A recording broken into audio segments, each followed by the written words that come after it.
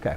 Um, so now when we look at this, when I take the fourth root, so I use my prime factorization to break it down. And now I have the prime factorization. So now we're not taking the cube root, we're taking the fourth root. So instead of grouping them in pairs of four or threes, we're going to be grouping them in pairs of fours. Because the fourth root says what number multiplied by itself four times? Well, I have groups of four here, and I have a group of four here. So you can obviously see I'm multiplying 2 by itself four times. So the fourth root of 2 multiplied by itself four times is just 2.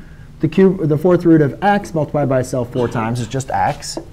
And then what am I left over with? 4, the fourth root of 2x.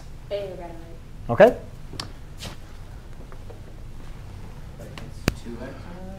Yep. You'd only have a 2 left over and an x. That's all that's left over. 2 and the x. And they're all still under the radical. I can take the fourth root of 4 times 4 times 4.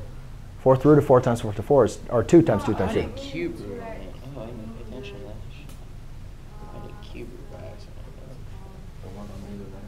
The radicands? Because that 2 goes there, that goes there. They're still under the radical. I never took them out. They still there.